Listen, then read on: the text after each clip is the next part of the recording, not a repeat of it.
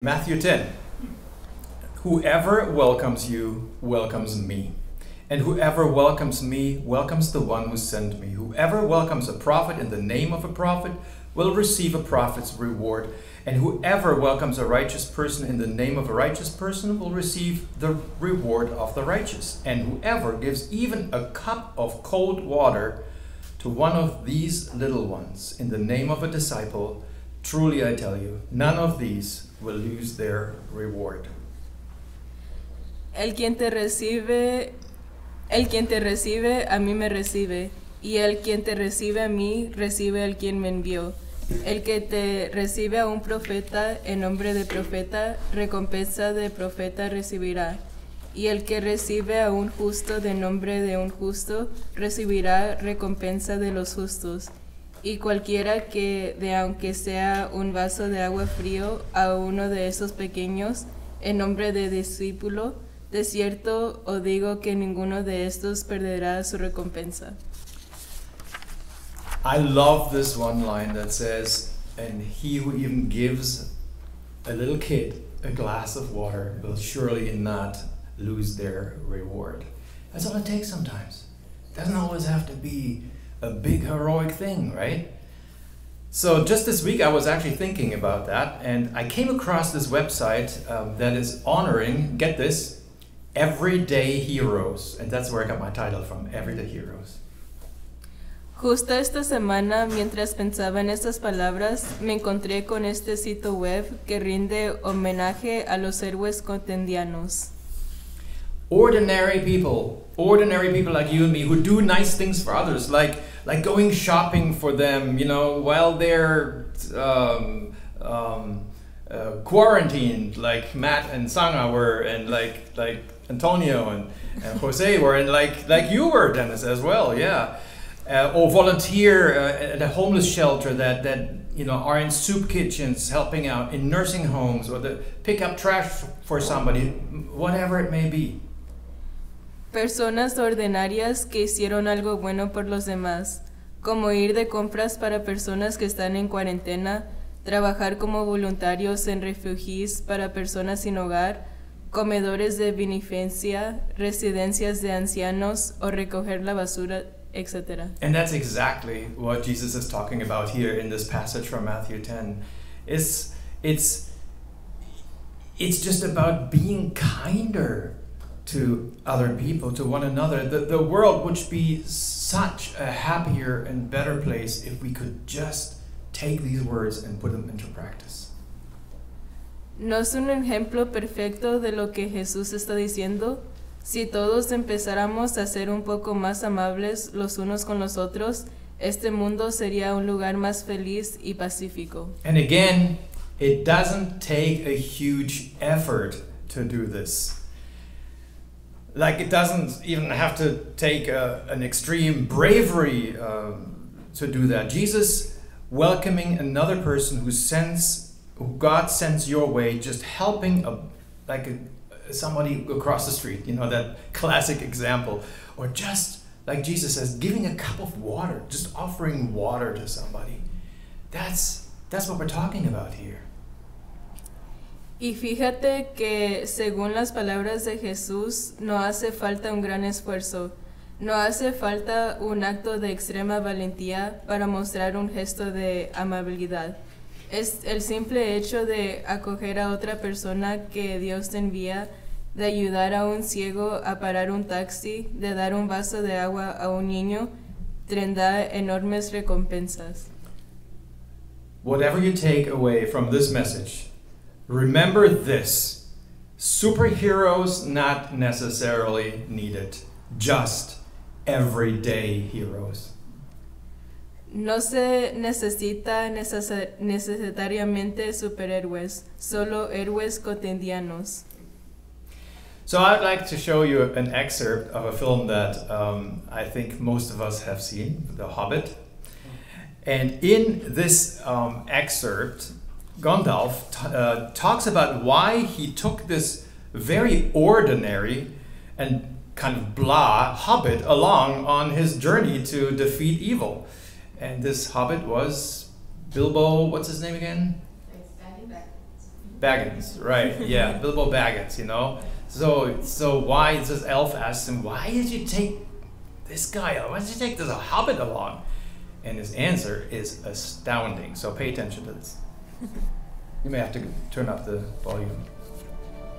On the believes that it is only great power that can hold evil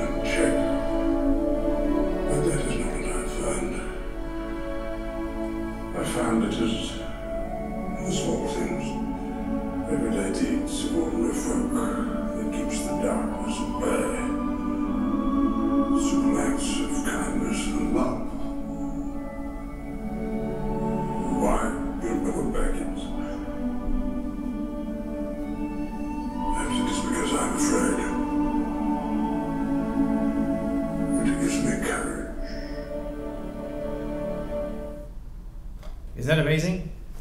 Everyday deeds like kindness and love keeps the evil at bay, is what he says. And I'm afraid I took uh, Bilbo Baggins along because he gives me courage, an everyday person. Again, superheroes not necessarily needed, just everyday heroes. That's us, folks. That's us. So, it is interesting. It is interesting that it's often harder to show little gestures of kindness than to do the really heroic thing. In one of my wedding speeches, I ask each wedding party, bride and the groom, whether they would be willing to take a bullet for their partner. And the answer most of the time is yes. No, actually, all of the time. 100% of the time. When I asked this question, would you take a bullet for your partner? The answer was always yes. And then I said, well, that's wonderful. And uh, it's a testimony to your great love. Me da curiosidad que a menudo sea más difícil mostrar pequeños gestos de amabilidad que realizar actos heroicos. En uno de mis discursos de boda pregunto a cada uno de los novios si estarán dispuestos a recibir un balazo para su pareja y ambos responden con una entusiasmada sí, por supuesto. Esto es maravilloso y un testimonio de su gran amor. And then I follow up this question with another question. I say, okay, tell me this. If your partner asks you to do a daily chore like taking out the trash or picking up milk at the grocery store, would you be willing to do that without grumbling? Y luego sigo con esta pregunta. Dime esto. Si tu pareja te pide que hagas una tarea diaria, sacar la basura o recoger la leche en el supermercado, ¿estarás dispuesto a hacerlo sin refurfunar? And it became very quiet. Nobody wanted to answer that one because we all know that is not necessarily something we enjoy doing. But this is what this message is all about. It's about the little things we do, the little kindness we do without grumbling and in love. That makes us everyday heroes. The truth is that it is often easier for us human beings to show grand, heroic gestures than to small, those little, tiny gestures of kindness. Ask, ask me to rescue a baby from a burning building, and I'll jump right in. But ask me to take out the trash, and I'll likely complain about it and whine about it. La verdad es que nos hace, se nos resulta más fácil a los seres humanos mostrar grandes gestos heroicos que pequeños gestos de bondad en la rutina de la vida cotidiana. Pídeme que rescate a un bebé de un edificio en llamas y me pondré en acción. Pídame que saque la basura y es probable que me queje. So true.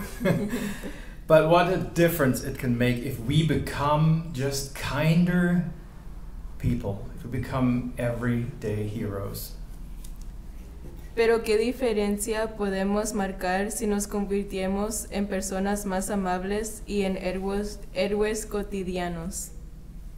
So I've told this story before, but I'm going to tell it again because I love the story. It's it's a perfect illustration to Jesus asking us to give water to even a child.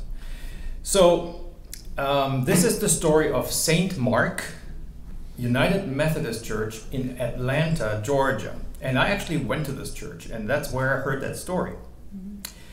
And um, a long time ago, it was a dying church. Only a few older folks were still attending it at that time. Every year, the Pride Parade went right past their doors. Mi historia favorita con respecto a poner en práctica las palabras de Jesús sobre ofrecer un vaso de agua es de la iglesia de San Marcos de Atlanta.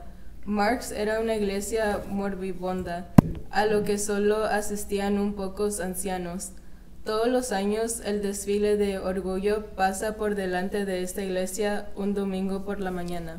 So, during one of those parades, which happened to be on a Sunday, about 25 years ago, the minister um, of the church saw that the church across the street from them, so there was a Baptist church right across the street, had put guards in place so that the queer folks couldn't enter their church building. Abhorred by the display of such hostility, the minister asked his congregation to counter that by opening up the church doors, all of them, and offering cups of water to those who would come in and wanted to refresh themselves. Durante de unos de esos desfiles hace unos 25 años, el nuevo pastor de la iglesia vio que la iglesia de enfrente había puesto guardias para impedir que entraran ninguna marica. Ob- Obedeciendo por la muestra de hostilidad, el ministro pidió a sus feligreses que contractaron abriendo las puertas de la iglesia y ofreciendo los vasos de aguas al que quiera que pasara por ahí. It just so happened that on that day, a reporter was in the crowd. And this reporter wrote an article on the tale of the two churches. And it became known that St. Mark United Methodist Church was welcoming queer folks. And I'm here to testify because I've been to that church, I've spoken there, this church is very much vital and has grown. It's a huge church now because they gave a cup of water to the people in the street. Un periodista tomó nota de esta historia de dos iglesias y escribió una- un artículo. Mark se dio a conocer como una iglesia gay friendly y creció hasta convertirse de una de las más mayores de la región, mientras que la iglesia conservadora de enfrente acabó siendo derrabada. Friends, we must understand that the power of kindness, the power of little gestures of kindness, there is a dynamic in it that can change this world. The force is so powerful because it's contagious and it can grow into something huge. Acts of kindness and compassion will bring change in this world and, and hope, and, and it'll lead to a, a more peaceful and a more just world. Los héroes cotidianos muestran pequeños gestos de amabilidad y con estos pequeños gestos podemos hacer de este mundo un lugar mucho mejor. Amigos, debemos entrar, entender el poder de la amabilidad. Hay una fuerza en los pequeños actos de bondad que se extiende por todo el mundo. Esta fuerza es tan poderosa porque es contagiosa y puede, puede crecer hasta convertirse en algo enorme. Los actos de bondad y compasión traen el cambio y la esperanza y conducieron a un mundo más pacífico y justo. Amen. Amen. Amen.